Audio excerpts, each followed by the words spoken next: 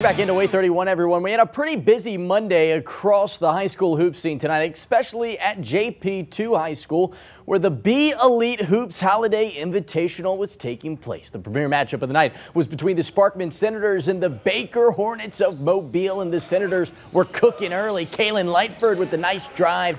He finishes the lay-in for two of his 17 tonight. Then Will Hawkins gets in on the fun, gets the steal here, goes coast to coast, shields off the defender, for the easy two. Sparkman out on top early, but Baker came to play. Labaron Philon was something else. Step back jumper falls here for the guy who already has offers from Alabama and Auburn. He would finish with 36, and the Hornets take this one 81 to 67.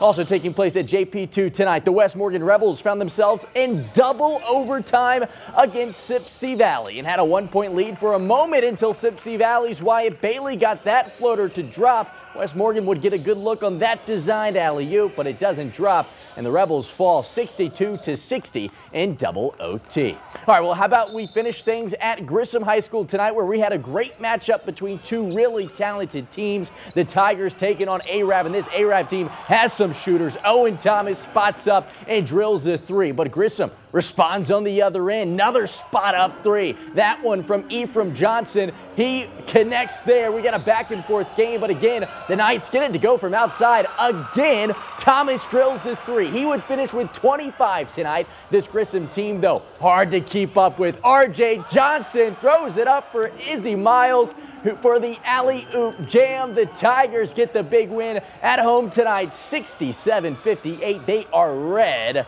hot.